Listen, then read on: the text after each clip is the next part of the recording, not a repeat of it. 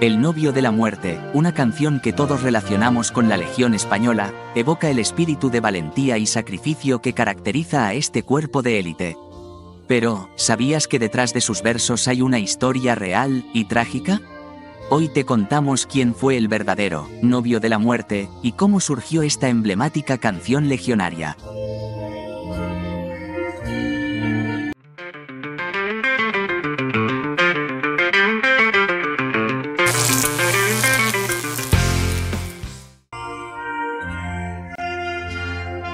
Para entender esta historia, debemos viajar al sur de España, a Minas de Río Tinto, Huelva. Es aquí donde en 1902 nació Baltasar Queija de la Vega, un joven que, como muchos otros, buscó un propósito mayor al alistarse en la recién creada Legión Española en 1920. Baltasar firmó su compromiso de tres años, atraído por un llamativo cartel que invitaba a españoles y extranjeros a unirse a la Legión. Fue asignado a la sexta compañía de la Segunda Bandera, y en enero de 1921, se encontraba en una misión cerca de Zoco el Arbaa, en África, protegiendo un yacimiento de agua estratégico. El 7 de enero de ese año, un grupo de rifeños atacó la posición donde se encontraba Baltasar. En medio de la oscuridad y el caos, un disparo lo alcanzó mortalmente. Pero, a pesar de su herida, Baltasar no soltó su fusil. Los insurgentes intentaron arrebatarle su arma, pero al descubrir que seguía vivo, lo asesinaron brutalmente. Sus compañeros legionarios, fieles al credo de la Legión de no abandonar jamás a un compañero caído, recuperaron su cuerpo y, en uno de sus bolsillos, encontraron algo sorprendente. Parte de un poema que él mismo había escrito, un poema que hablaba del sacrificio y el honor de los legionarios. Días antes de su muerte, Baltasar había recibido una noticia devastadora. La mujer a la que amaba había fallecido.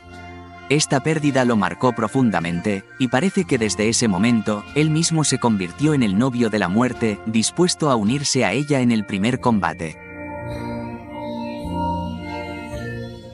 Pero, ¿cómo nació la famosa canción?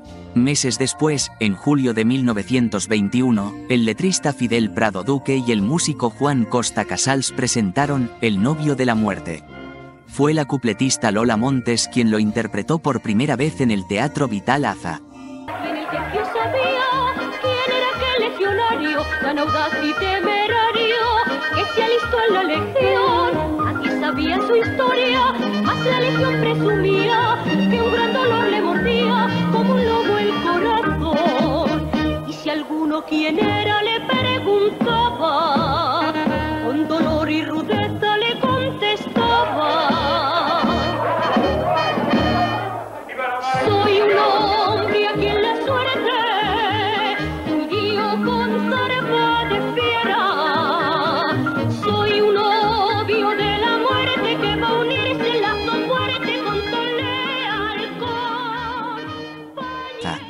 La canción emocionó tanto que poco después fue solicitada por la duquesa de la Victoria para elevar la moral en Melilla, en pleno conflicto.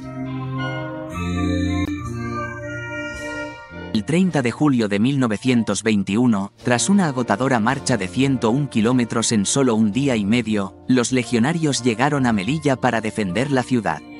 Al escuchar la canción, el teniente coronel Millán Astray decidió que, el novio de la muerte, debía formar parte del repertorio oficial de la Legión. La letra fue ligeramente adaptada para ajustarla al ritmo marcial de los legionarios.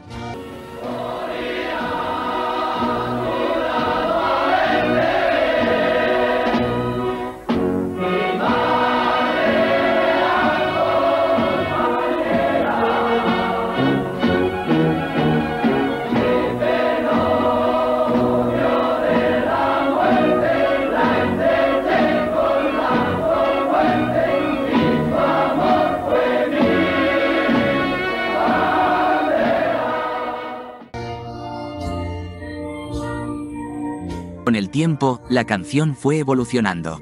En 1952, se ajustó al paso procesional y hoy en día se canta cada jueves santo en Málaga, cuando la Legión acompaña a su protector, el Cristo de la Buena Muerte.